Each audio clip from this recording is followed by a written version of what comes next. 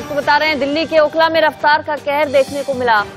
अनियंत्रित बस ने कई वाहनों को एक साथ टक्कर मार दी, जिसमें एक रिक्शा चालक भी था और उसकी मौके पर ही दर्दनाक मौत हो गई। पुलिस सूचना मिलते ही मौके पर पहुँची। आरोपी जो बस चालक है उसे गिरफ़्तार कर लिया गया है, बस को कब्जे में ले लिया गया है। बस में जो लोग फंसे थे, उन्हें, उनका भी रेस्क्यू किया गया। राजधानी दिल्ली के ओखला इलाके का ये पूरा मामला। तस्वीरें एक्सक्लूसिव आपको दिखा रहे हैं। देर रात की हैं ये तस्वीरें। बस चालक को मौके पर ही गिरफ़्तार कर लिया गया आरोपी बस चालक जिसकी तरफ़ से तेज गति से बस चलाई जा रही थी, अनियंत्रित हो गई, बेकाबू हो गई, बस पलट गई, जिस वजह से हादसा हो गया इसकी चपेट में और भी कुछ लोग आए हैं। वो फ़िलहाल अस्पताल में इलाज के लिए भर्ती हैं और एक शख्स की मौत हो गई है। रिक्शा चालक भी बताया जा रहा है।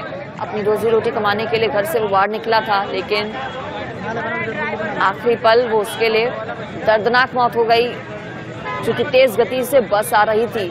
रफ्तार बहुत ज़्यादा थी बस की, जिस वजह से यह हादसा हुआ है। तस्वीरें दिखा रहे हैं आपको, राजधानी दिल्ली के उखला इलाके का ये पूरा मामला।